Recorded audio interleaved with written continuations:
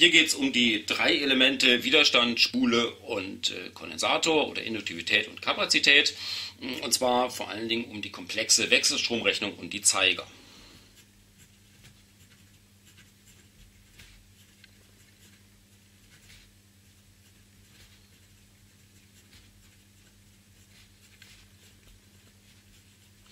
Und fangen wir mal an mit dem Widerstand.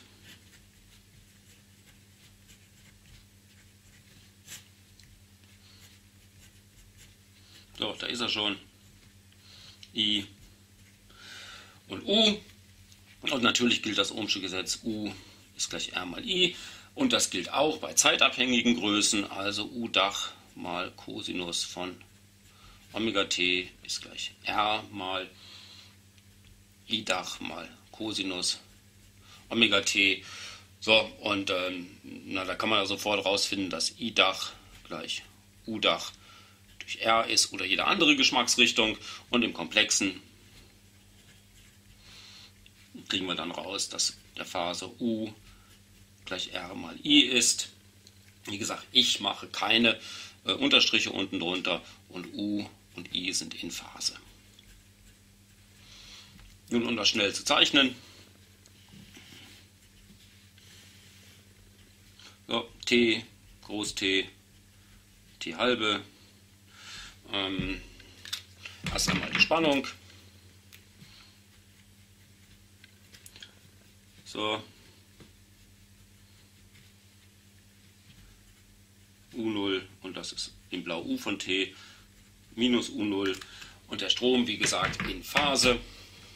Ich malen etwas kleiner. Aber es ist ja sowieso ein vollkommen anderer Maßstab, von daher. So. Dach, das ist I von T in Rot, ähm, minus I Dach. Und richtigerweise müsste man auch hier natürlich U-Dach angeben. So. Ähm, noch die Zeiger im Zeigerdiagramm.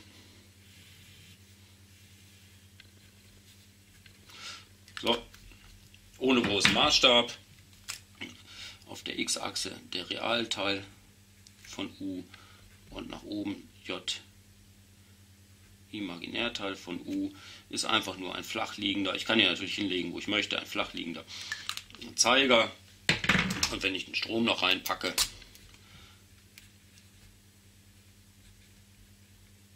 Realteil von I, J, Imaginärteil von I, dann ist das hier so, der Zeiger. Wie gesagt, beide in Phase.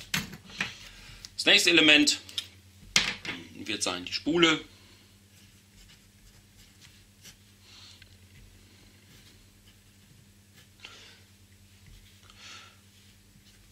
I, U und da haben wir natürlich den äh, Zusammenhang über die Differentialgleichung U ist gleich L mal dI nach dt. Und wenn wir jetzt ansetzen, das ist vielleicht am einfachsten mit i anzufangen, i von t ist gleich i Dach mal Cosinus von Omega t. Dann bekommen wir hier aus dieser Differentialgleichung und der Bildung des Differentials raus L mal I Dach mal d nach dt mal Cosinus von Omega t, den wir noch ableiten müssen, den Cosinus. Der Ableitung von Cosinus ist der Minus Sinus und natürlich das Omega davor, also Minus Omega mal L mal I Dach mal, hm, dummerweise jetzt Sinus Omega t. Und das könnten wir schreiben als U Dach mal Sinus Omega t oder auch als U Dach mal ja, dann machen wir ein Minus gleich davor, dass wir es rausziehen können, damit es eine positive Größe wird, äh, mal Cosinus Omega t plus 90 Grad oder Pi halbe, je nachdem, was man gerade so möchte. So, das heißt, wir können zusammenfassen, mh, dass U-Dach gleich Omega mal L mal I-Dach ist. Das Omega mal L würde man auch gleich das XL nennen, nämlich den blind Widerstand der Spule und hier haben wir eine Phasendrehung von 90 Grad.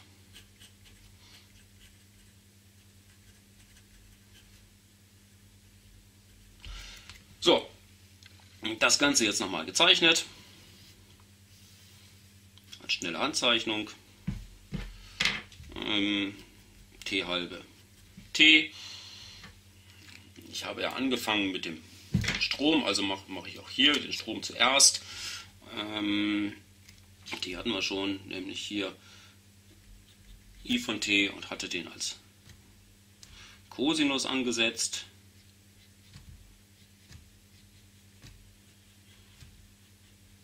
So, in etwa I Dach minus I Dach. So, jetzt müssen wir den, äh, die Spannung noch dazu machen. Die Spannung wird zum Sinus, aber eigentlich dem Minussinus. So.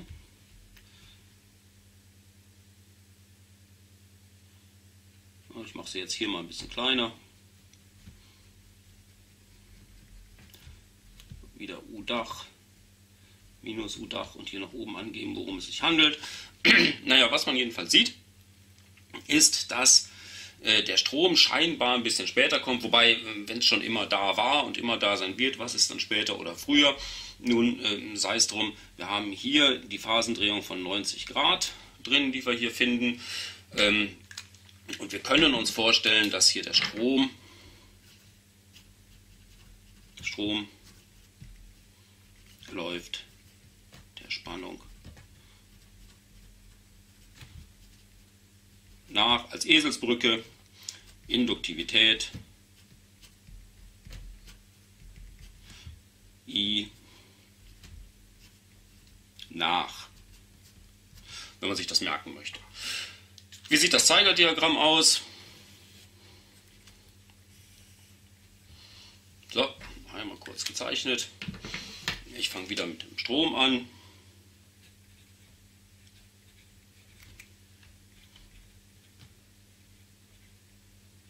Den lege ich auf die x-Achse.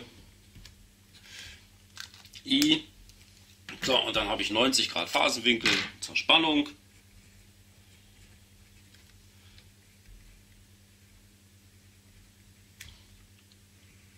Das wäre hier. Hier sind die 90 Grad.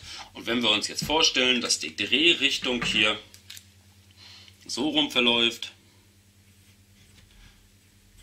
dann läuft auch hier I nach. Ein Satz noch zum Blindwiderstand.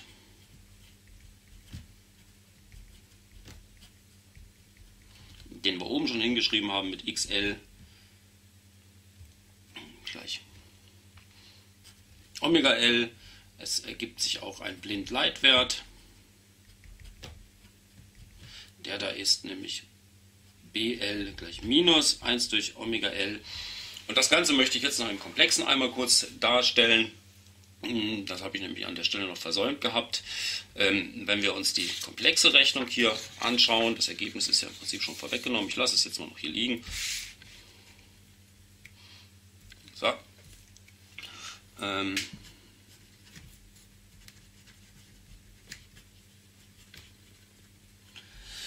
dann hätten wir nämlich u von t ist gleich Realteil L mal d nach dt von i mal e hoch j Omega t gleich Realteil von einfach eine Ableitung von j Omega, e hoch j Omega t, macht, schiebt das j Omega nach vorne, j Omega mal L mal i mal e hoch j Omega t ist gleich Realteil von u mal e hoch j Omega t. Und wir hätten daraus folgernd u ist gleich j Omega mal L mal i. Und wir kriegen ein, eine komplexe Impedanz der Spule hin mit ZL gleich J, Omega L gleich J, XL. So, bleibt uns noch hier der Kondensator.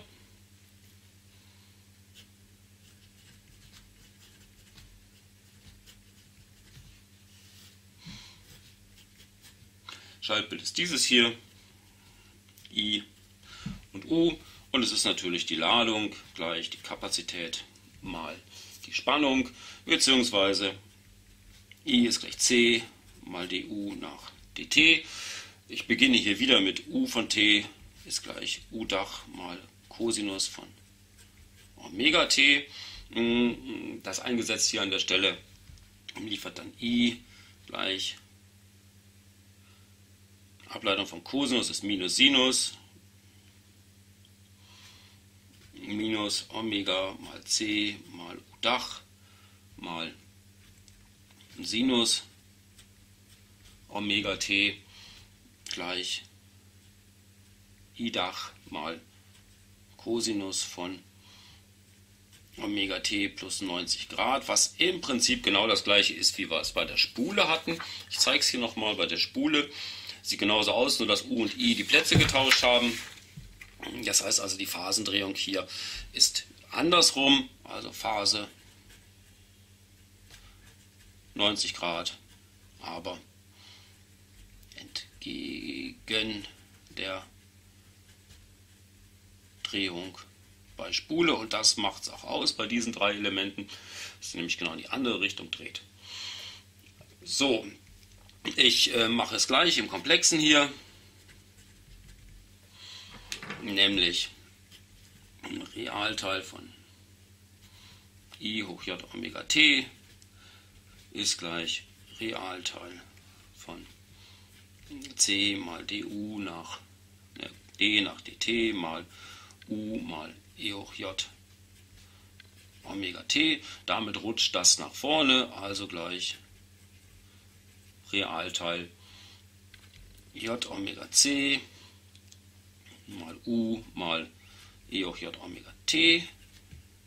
Das können wir als das I identifizieren, hier halt so weitgehend. Und dann kriegen wir raus, I ist gleich J Omega C mal U. Hm, wobei jetzt hieraus folgt, dass die komplexe Admittanz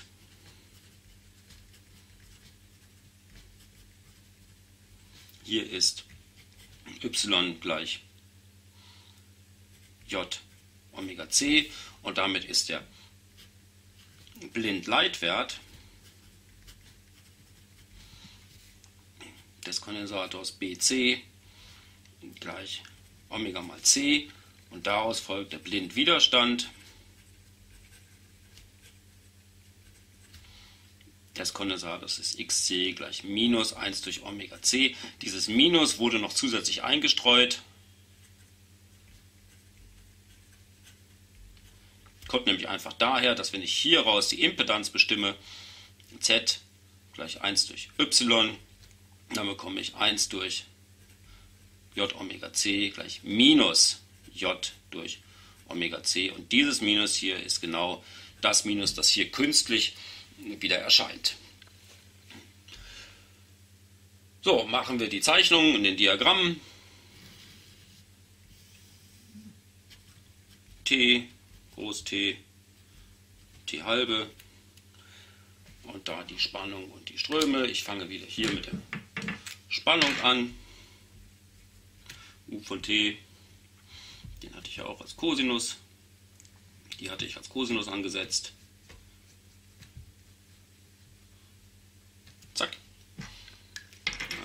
Hier U-Dach und minus U-Dach. Und dann kommt aber raus der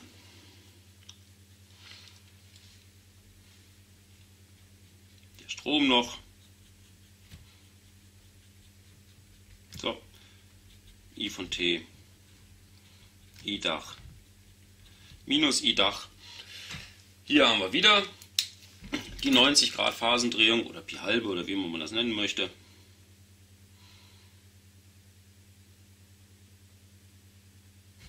Hm, wo bringe ich Ah, mache ich es hier rein. Nur diesmal andersherum. Diesmal ist es so, dass die Spannung hinterherläuft.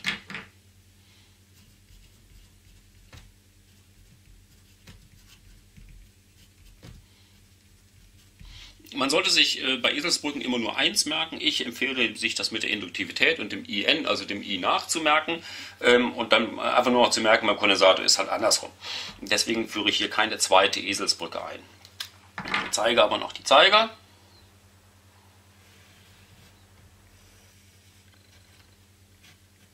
So.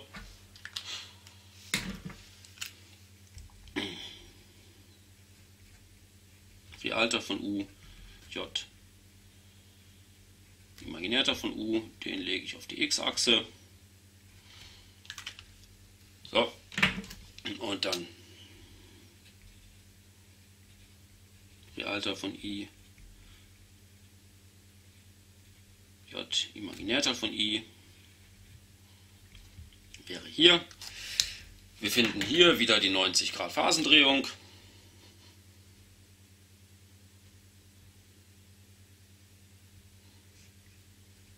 Diesmal nur andersherum.